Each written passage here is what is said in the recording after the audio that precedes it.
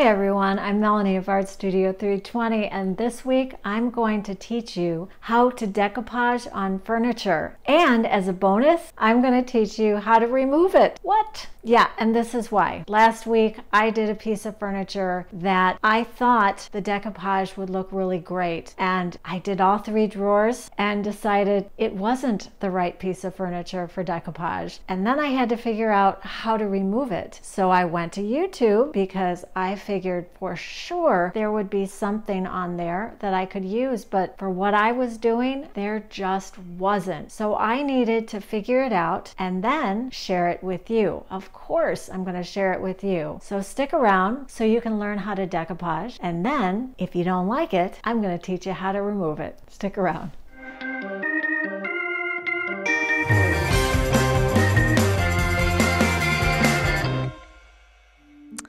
Okay, I am using Dixie Belle's Gator Hide because it's a top coat, but you don't need to use Dixie Belle's Gator Hide.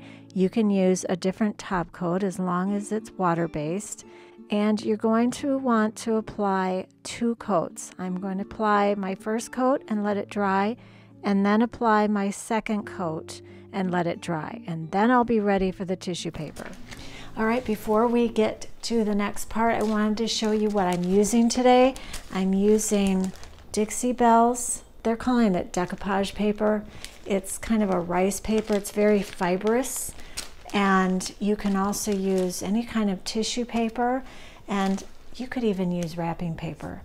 You also need some parchment paper. Do not confuse that with wax paper. This is what you would use for baking cookies. Um, you want to do that to protect your tissue paper. You don't want to scorch it. And you don't want your iron, which you need, iron. I put it on a nylon setting. And if you think that that's not warm enough, you can kind of crank it up a little bit, but you know, kind of use, use logic. Um, you don't want it on the highest setting. You don't need it on the highest setting. You just want something that's going to melt that top coat a bit so that tissue paper will adhere to the top coat speaking of top coats, I use the Gatorade. I always say Gatorade. I use the gator hide, but you don't need the gator hide, just some kind of top coat, but I would suggest that you stick to a water-based top coat. And you also need some kind of finer grit uh, sandpaper. I would stick to maybe a 220 or um, maybe even a 180 or something like that. I wouldn't get near the 60 grit or the 80 grit because you might fray your tissue paper. And that's only when you need to sand off your edges. If you were planning on decoupaging the, the whole top of the drawer or top of your dresser or whatever it is you're doing. All right, let's get to work. Okay, now there's two different ways you can do this. You can cut out your small pieces like I did, or you can cover the entire area, for example, the top of this drawer. But I'm using just small pieces and you're going to want to put them down nice and flat and then put the parchment paper over it and then apply your iron and move it around. You don't want to just sit it there. And you'll you'll know right away. You'll get a feel for when it's done. And you can kind of check it. And then um, when it's all done, you'll know it because it won't be peeling in any places. And if it is, there you go. You can just apply the iron again.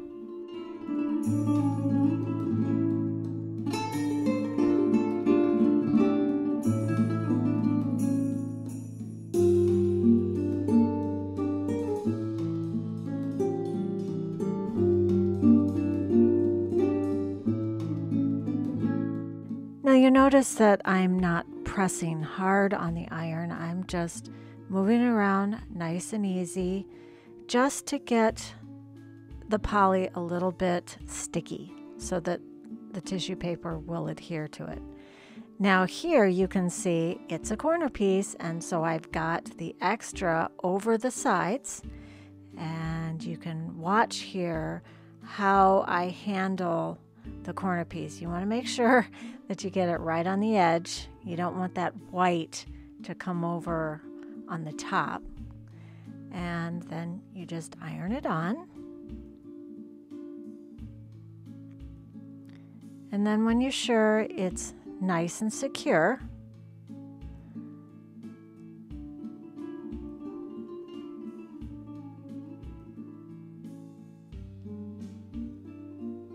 going to take your sanding block or sanding paper. Now, full disclosure, I think that this might be a 60 grit. Start with a higher number and then work your way down. And some people sand away from the drawer, and then there's me who just kind of sanded it back and forth until it started to peel off.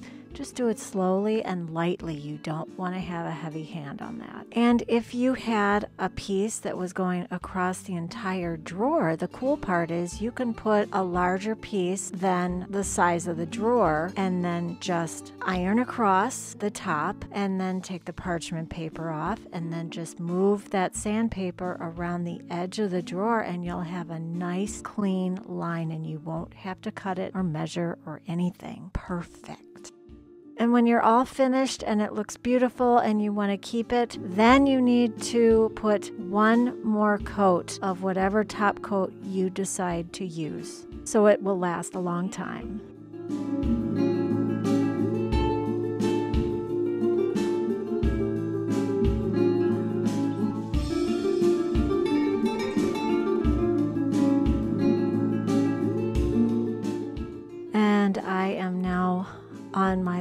Flower. I'm finished. And here is how it looks when I'm all done. and now comes the part where I'm taking it off because I really didn't like how it looked. And I started with a little bit of sandpaper and I noticed that it was coming off pretty easily because I hadn't sealed it yet with another layer of top coat. But I was leery of using the sandpaper on top of the top coat. So what I decided to use was my spray bottle and just watch this. It's crazy how it just came right off.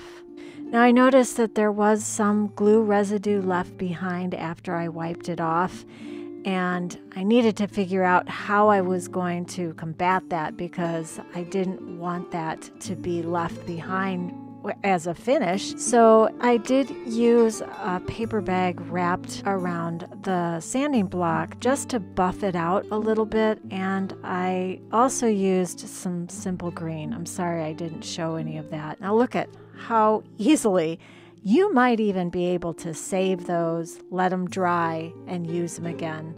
I didn't think of it in the moment, but I'm telling you, definitely try and save them. I noticed that the, the residue was kind of dull, and it occurred to me that perhaps just another layer of top coat would be enough, and it turned out that it was.